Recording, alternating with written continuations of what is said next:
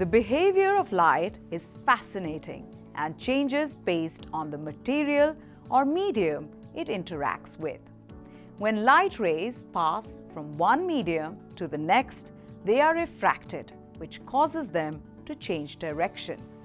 Let us learn about some experiments that you can try yourself. Take a rectangular glass slab and place it on a table. Fix an erect pencil behind the glass slab. Observe the pencil at an angle from the other side of the glass slab. Now, try to cover the pencil with an inverted test tube. Draw a straight line on a paper. Place a glass slab on it. Now, observe the line from different angles. The line looks as if it is higher than the paper. Take an opaque vessel and place a coin at the bottom.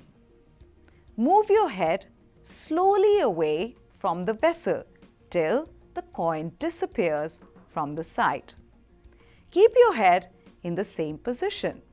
Now, ask your friend to pour some water into the vessel. Observe the coin becoming visible. This happens due to the bending of light. These experiments show that the ray of light changes its direction when it travels from one medium to another. The bending of light rays when they travel from one medium to another is called the refraction of light. Such events occur in transparent media. In the coin experiment, light travels in a straight line when there is no water in the vessel. The coin was not visible at position A. On adding water, the ray of light changed its direction at the water surface and reached the eye, and the coin appeared slightly higher than its original position. Thus, the coin appeared to be at position B.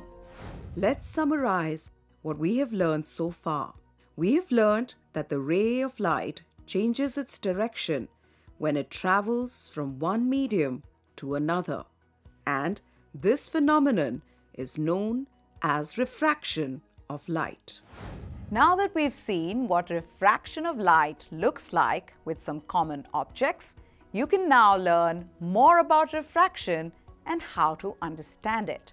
Join us next time to learn different examples of refraction and more about the behavior of light. Keep embibing. We believe in you.